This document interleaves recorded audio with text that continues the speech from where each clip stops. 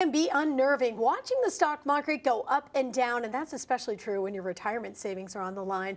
We've got wes wood with us. He's our music city specialist and the president of wood financial group. So let's talk about this stock market volatility.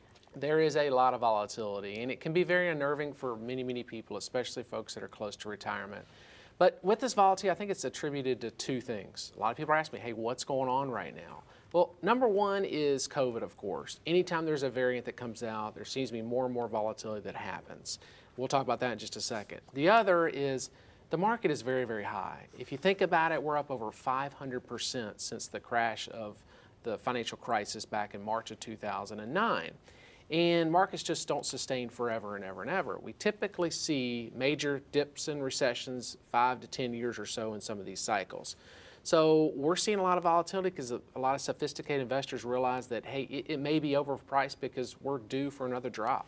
Let's talk about what you mentioned before, COVID. Right. Uh, it doesn't seem to be going away, and nope. it's linked to the stock market in some ways. Yeah, we're going to be stuck with this for a while. And the way it's been linked with the market is go back to the beginning of it.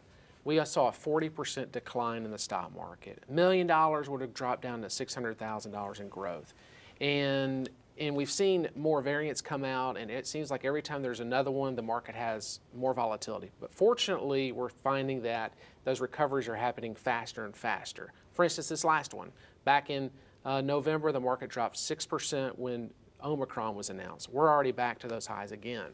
And of course, you have the stock market moving, but the right. way you deal with your retirees and your mm-hmm. clients, mm-hmm. helping them navigate these tricky waters. Guys, right. Wes Wood and Wood Financial Group, they've got locations in Hendersonville and Mount Juliet. But doesn't matter where you are, you can go online, woodfinancialgroup.net, or give them a call, number on your screen, 615 826 5749. So good to see you. Good to see you too, Carol. You're watching Today in Nashville.